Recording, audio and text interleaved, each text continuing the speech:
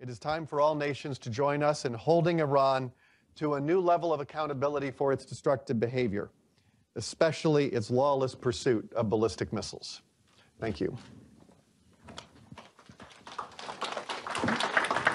That is the most ridiculous thing I have seen. The world community wants to keep the Iran nuclear deal. Our allies are Miss, miss, the, the Germans, the if you wanna French, the British. They want to keep in this deal. The world community wants to keep the deal.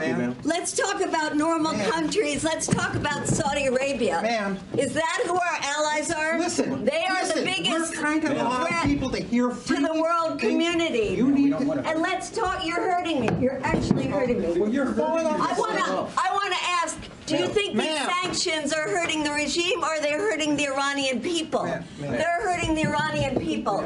You are making a case for war with Iran. How did the war with the Iraq turn Ma'am. out? You're doing exactly the same thing we did in the case of Iraq. We don't want another war in the Middle East. Ma'am, Let's you wanna see. go outside and give a How does speech, Iraq turn you can out? do that. How did You Libya turn and give a out? speech, you can do we that. have the people You of Syria can take time. suffering. And how dare you bring up the issue of Yemen? We are it's the Saudi bombing that is killing most people in Yemen. So let's get real. No more war. Peace with Iran. And those are some of the headlines. This is Democracy Now!, democracynow.org, The War and Peace Report. I'm Amy Goodman. And I'm Nermeen Shaikh.